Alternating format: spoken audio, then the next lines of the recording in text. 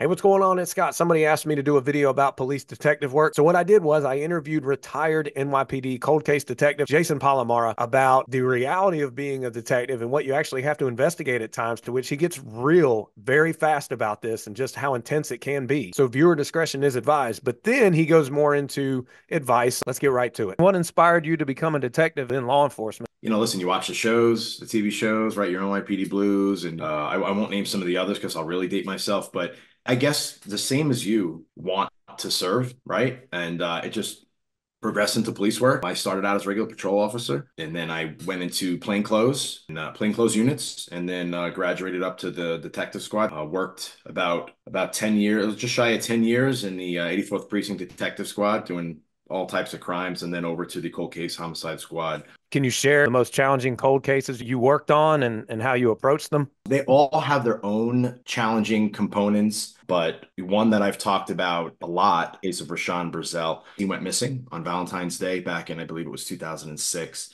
And he was subsequently found a few days later in uh, multiple locations throughout the city. That investigation, uh, me going down, my partner and I going down many different roads. Uh, we traveled domestically, internationally on these cases, interviewed countless witnesses and many folks. And fortunately, that came to a positive conclusion with an arrest and identification of who the person was. The DAs that worked on this case, hands down, some of the best I've ever worked with. Oh, but good. The the greater office made certain decisions that the case is not being prosecuted now. Oh, luckily, dang. this individual is in on another homicide.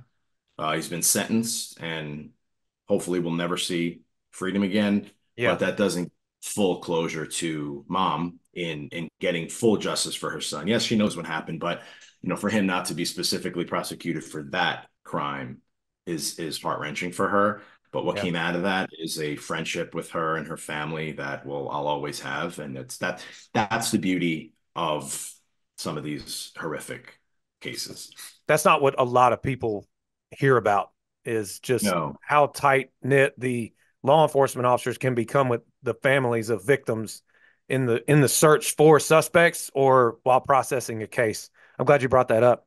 Uh, you said you had another uh, story that was tough to handle or or another cold case. This is the case of Chanel Petro Nixon. She was a 16 year old uh, female that went missing uh, as well. She um, unfortunately was found uh, disposed of in trash bags by somebody. And, uh, you know, in speaking to, again, the family, mom, dad, dad is forever grateful for the individual that found her because he says that he, he would have never found Chloe, would have never known where his daughter was. He, he was, he's so grateful that, that she was located. We know who did it. He is in jail for other crimes and uh, we're waiting his uh, time in court. So that hasn't seen the end, uh, the conclusion yet. But uh, again, same result is I get messages from from the family, from mom every holiday. You know, whether it's Merry Christmas, you know, Happy New Year, we we still keep in touch, and and that's you know for for the detectives or or, or any Leos that are watching this when you're hitting those roadblocks or those perceived walls in what you're doing, if you're intentional about what you can glean from it, then you'll be better off. And it's totally up to you, right? It could be negative or you can pull the positive from it. Through your investigations, you are doing good work. Based on all you've gone through and worked through, what do you believe are essential skills needed to be a good detective? Why don't we start with patience? I had the luxury in cold case of having time, right? You got a lot of these detectives out there working their butts off that it's things are happening and they're responding, right? I have the benefit of looking back on all the great work they did, right? They don't have that when something has just happened. And what they do then can be so valuable years and years down the line for for guys like me for, for for detectives like me i get to look at all the great work they did i get to look at all the reports all the interviews or if there were video well sometimes these cold cases there's there's no video because they're they're really old but i have the ability to sit back with a little bit more time and patience than they might have but patience patience with yourself and patience with the investigation Hollywood, for lack of a better phrase, TV, movies. Okay. They portray these detectives walking into a room, some of them slamming a folder down on a table, making a person talk. It doesn't work that way. People have rights. you have to respect those rights, but you have to be good at questioning if anyone's willing to talk. Can you give a reality of what it's like to interview people, whether witnesses, victims, suspects, that separates us from TV? It's really it applies to to life and human interaction, right? In an interview room, if you don't know the person you're talking about better than they know themselves, you're ill prepared, right? I want to know everything about you. I want to know, and again, that that that was the luxury we had so many years down the line. I can look at everything you've done in your life up until the point where we're in front of one another that the detective doesn't have on day one. So I need to know everything about you as much as I can. That's going to help me in that that dialogue. So, you know, doing your homework, preparing and knowing their personality, right? Uh, knowing your one approach is not going to work for every person you're in front of in those rooms. You're going to have to change it and alter it to fit that that that individual, uh, along with what that case is about, the facts of that case, the evidence of that case, you know where where do you want to be after that interview? What is your goal going into that room? Well in addition to interviewing people can you just walk us through a typical day or week in the life of a cold case detective? I can speak only to to my experience in the nypd's cold case homicide squad and a lot of it was self-initiated right? So we would scour over uh, unfortunately there was um, no shortage of cases to pick from no shortage of homicides. Right. Um, with the advancement of technology, we would focus on, at least I would focus on some close contact situations, right? Whether it's strangling, a, uh, stabbing, um, something that has close contact that would provide a little bit more evidence to, to work with, right? But I, I like to look for the, the helpless victim, right?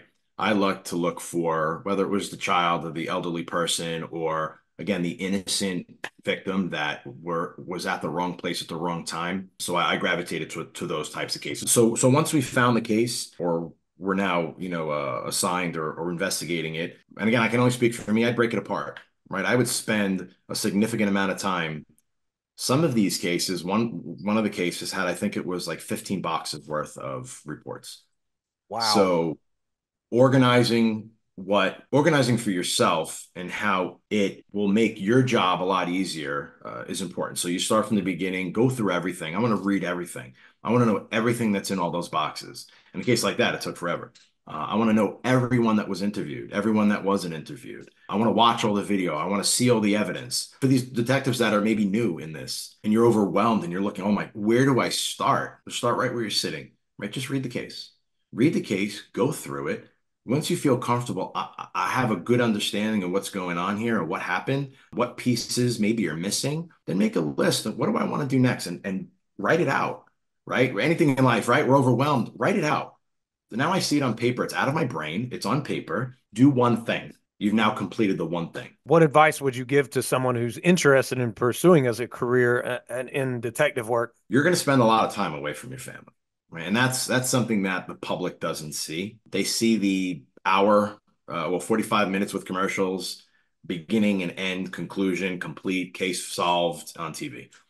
But what's packed into that real life hour is years spent away from your kids, your family, years worth of canceling at the last minute events that your wife or your husband now has to go to alone missed school events that your kids look out and don't see you sitting there and only see one of you there um, or any. That's going to happen. Knowing that it's going to happen and learning ways to help get in front of that is huge. And I know we veered away from kind of the detective work preparation, but that's preparation for detective work. Because if you're not happy and healthy there, you're going to be a terrible detective.